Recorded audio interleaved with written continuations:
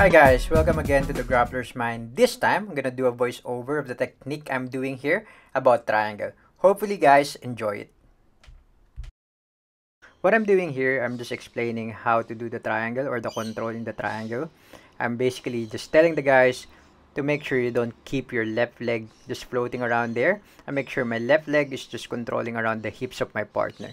And I make sure that I grab my shin as well if I want to loosen up my left leg. But most of the time, I don't loosen that up.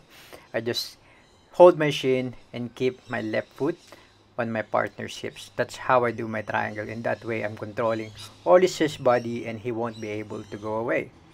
So, that's the details I'm showing here.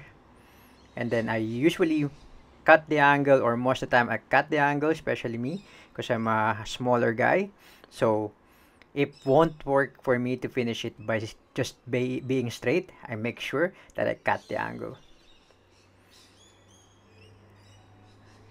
I got some details here that I want to show you guys. Uh, if you want to improve your your triangle finish, this is like a biting motion. That's why I'm just clapping my hand.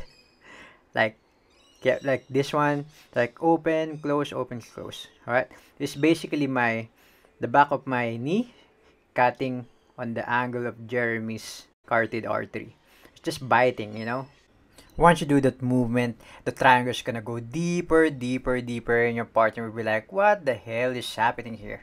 This is really effective if you want to finish your triangle a bit more vicious and to cut that angle really well. So hope you guys enjoyed that. Thank you.